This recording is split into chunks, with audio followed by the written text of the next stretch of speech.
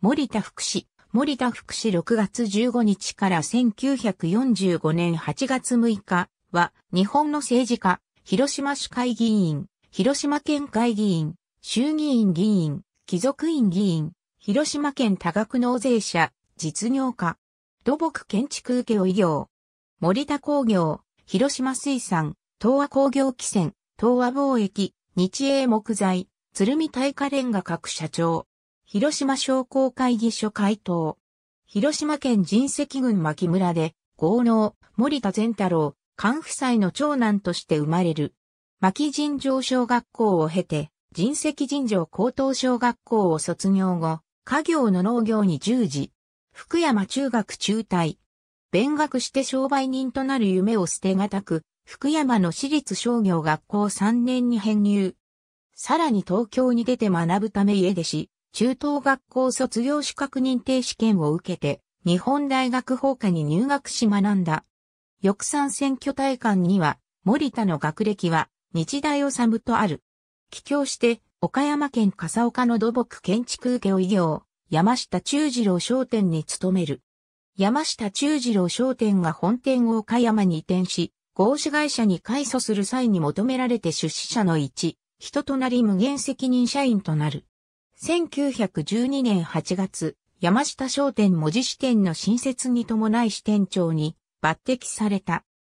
1914年3月、吉川セメントの経営を任され、当初は不況下で困難な経営を余儀なくされるも、1915年頃から公共となり、経営を拡大させたが、1917年6月にセメント会社の全株式を売却して巨額の資金を入手した。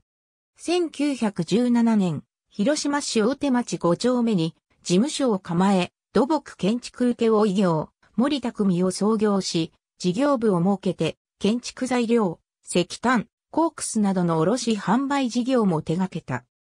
1918年7月、初の大型工事として、岡山仙梅支局米子出張所工場、新築工事を落札したが、米騒動による物価の高騰、山陰地方の大水害、工事現場での出荷などによる大損失を被るも、1920年6月に竣工して大蔵省に引き渡した。このことが森田の信用を得ることにつながり、その後、大型工事を受注して事業を拡大した。1921年6月、広島市会議員に当選し、立憲政友会に入党。1922年、分家する。1923年、広島県会議員に当選し、副議長に選出された。1925年9月29日、貴族院多額納税者議員に任じられ、その後、県会議員を辞職し、声優会広島県支部長に就任した。貴族院では、交友クラブに入会し、新人ながら綿密な準備を行った鋭い質問を政府に対して行った。1929年11月8日、広島商工会議所第8代会頭に就任。1930年5月、一行18名で第26回列国議会同盟会議、第16回万国議員商事会議出席などのため、欧米に半年間の外遊に出発した。1932年2月、第18回衆議院議員総選挙に、広島県第3区から出馬して当選し、それに伴い同年2月25日に、貴族院議員を辞職した。次の第19回総選挙では、政友会への政府の干渉で苦戦し落選。1937年4月の第20回総選挙では、再選された。政界では、持月圭介、大野万木、鳩山一郎、日田拓ラと親交を結んだ。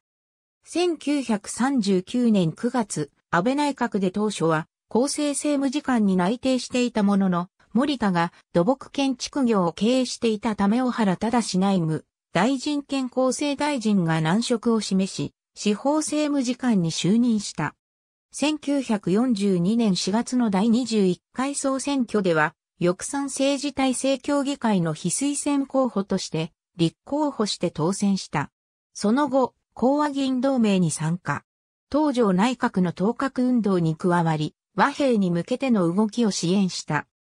1945年8月8日に開催予定の中国地区大議士会議の世話役を務めるため、8月4日に広島市に戻っていたが、8月6日の原爆投下により、爆心から至近距離に位置する会社事務所の近くで被爆死した。去年55。広島への原爆投下によって、森田の他に、現職の広島県選出代議士では、古田木里、及び元、島根県選出代議士で当時兵役についていた、田中勝之助の計3名が被爆死しており、没後の9月4日、第88回帝国議会衆議院本会議は、この3名に長寿を贈呈した。趣味は政治。住所は、広島市西地方庁。契約年月、工事名広島原爆で被爆死した著名な姓、関海人。ありがとうございます。